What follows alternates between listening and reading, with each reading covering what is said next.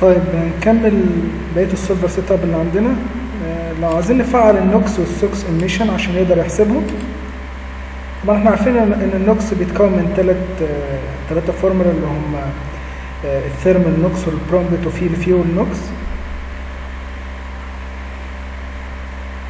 إحنا مش. مش هندخل في الموضوع ده دلوقتي خلينا بس نعمل ال simulation وبعدين نبقى نبدأ نحسب آه، حاجات لل NOx وال SOx emission بتاعنا ممكن طبعا نحسب ال PM ونحسب ال CO2 كل ده هنبدأ نفعله بعدين. طيب.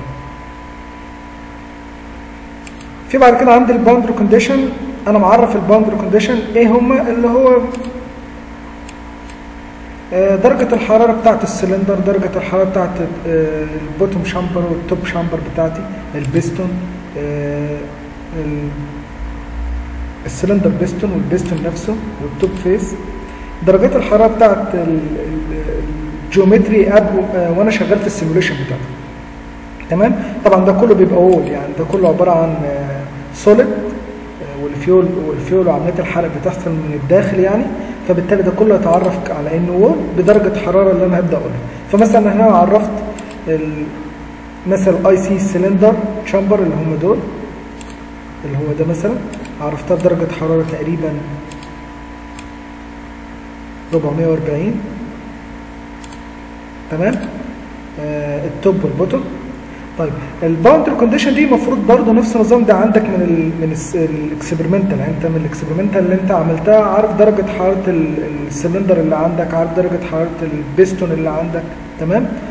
آه اللي هو زي ما بنقول كده ال boundary layer حوالين ال flow اللي, اللي هيحصل عنده ال combustion process. تمام؟ اللي هم البيستون والسلندر والتوب والبوتوم بتوع ال chamber طيب. زي ما قلنا بتعرفهم إزاي بتعرفهم؟ على إنهم wall وتحط درجة الحرارة بتاعتك وتعمل click آه نيجي بقى إحنا عاوزين عاوزين نقرأ إيه؟ آه أنا في الآخر إيه ال result اللي عاوز أطلعها لل لل simulation اللي عندي؟ فمثلا سي أنا عاوز أطلع مثلا ال pressure فمثلا هقول ال volume بتاع ال maximum أو ال minimum على حسب. خلينا ندرس ال maximum بتاع ال pressure تمام؟ pressure ليه؟ للثلاث حاجات دول. وأعمل create okay؟ هيتعرف تحت. آه عاوز مثلا ال temperature عاوز ال mass flow rate ال mass average وهكذا. يبقى إيه اللي أنا عاوز؟ إيه ال result اللي أنا عاوز أقراها؟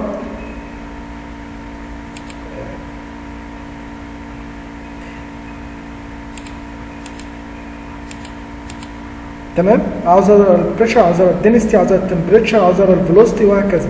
تمام؟ عاوز اقرا new variable تاني. في new variable أنا هقراه. غير الحاجات ال- اللي بتبقى standard موجودة يعني. يعني مثلا ال pressure مثلا أنت عاوز ال static pressure ولا ال absolute pressure آه لو هقرا velocity آه عاوز Reynolds number ولا عاوز ال velocity magnitude نفسها وهكذا يعني تمام؟ يبقى ده انت على حسب انت إيه اللي عاوز تطلعه من ال result اللي عندك؟ إيه عاوز ال- ال- ال report اللي هيطلع لك لأن في الآخر هو ال IC بيطلع لك report جاهز فيه كل ال- ال result بتاعتك. فأنت عاوز الريبورت ده يبقى مكتوب فيه إيه؟ تمام؟ طيب.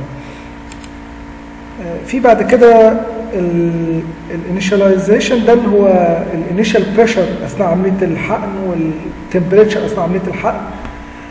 طيب آه، إحنا هنفرض في ال experimental اللي عندي دي أنا هفرض إن ال pressure اللي داخل مش هو ال atmospheric pressure اللي هو تقريبا بيبقى واحد بار تقريبا يعني المفروض تبقى هنا 100 لا إحنا هنفرض إن هو داخل بتقريبا 2 بار أو 2.4 بار طبعا ده بالباسكال لو قسمتها على 10 اس 5 يبقى 2.4 بار يعني تقريبا 2.5 بار تمام؟ يعني هفرض إن في آه compressor أو الفيول اللي داخل ده داخل ب 2.5 بار تمام؟ وال temperature بتاعته 404 طيب. بس بعد كده في عندك بس وقتها ما فيش حاجة تانية. يعني ده بالنسبة الصور اللي هتطلع لك في الآخر. تمام؟ هتشوف دلوقتي بنفسك لو أنت عاوز تعرف صورة تانية عاوز تعمل آه، هنشوف دلوقتي إحنا ال geometry اللي هيطلع عندنا مثلا أو الصور اللي هتبقى عندنا في الآخر. تمام؟ المفروض هو كده خلاص. هنبدأ ندخل بقى على مرحلة ال setup ونعمل عملية simulation